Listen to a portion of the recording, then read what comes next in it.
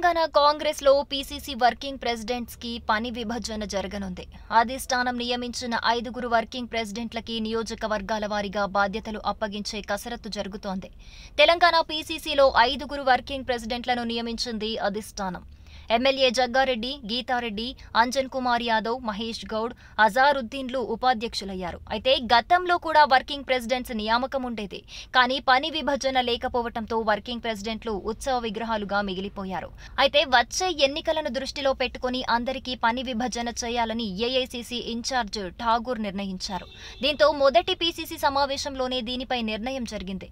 ఒకటి రెండు రోజుల్లో పార్టీ ముఖ్యులతో పీసీసీ చీఫ్ రేవంత్ సమావేశం కాబోతున్నారు. వర్కింగ్ ప్రెసిడెంట్లకు అదనంగా పార్టీ ఇటీవలే నియమించిన సీనియర్ ఉపాధ్యక్షులు కూడా ఉన్నారు.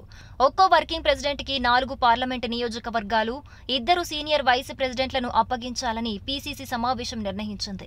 వర్కింగ్ ప్రెసిడెంట్లలో సీనియర్ నాయకురాలు గీతారెడ్డి వయస్సు రీత్యా జిల్లా బాధ్యత ఇస్తే పర్యటనలు పార్టీ కోసం యాక్టివ్ రోల్ ప్లే చేయాల్సి ఉంటుంది. కాబట్టి గీతారెడ్డికి నియోజకవర్గాల బాధ్యత కంటే గాంధీ భవన్ కేంద్రంగా కార్యక్రమాలు చక్కబెట్టే పని అప్పగించే ఆలోచన కనబడుతోంది.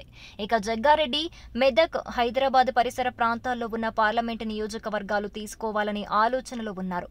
ఇక మహేష్ గౌడ్కి పార్టీలో మంచి గ్రిప్ ఉంది. పార్టీ నిర్మాణంలో మహేష్ గౌడ్కి కీలక బాధ్యతలు ఇచ్చే ఆలోచనలో ఠాగూర్ ఉన్నారు. ఇక అంజన్ కుమార్ యాదవ్కి హైదరాబాద్ నగరంలోనే ఎక్కువ సంబంధాలున్నాయి. సికింద్రాబాద్ పార్లమెంట్ సొంత నియోజకవర్గం కాబట్టి ఎవరి నియోజకవర్గం వాళ్ళకు ఇవ్వాలా లేదా అనే క్లారిటీ మాత్రం ఇంకా రాలేదు. నగరంలో సికింద్రాబాద్ హైదరాబాద్ చేవెళ్ళ మల్కాజ్గిరి పార్లమెంట్ స్థానాలు ఉన్నాయి. అయితే మరో వర్కింగ్ ప్రెసిడెంట్ అజారుద్దీన్ కూడా హైదరాబాద్ బాధ్యతలు అడిగి ఆలోచనలో ఉన్నారు.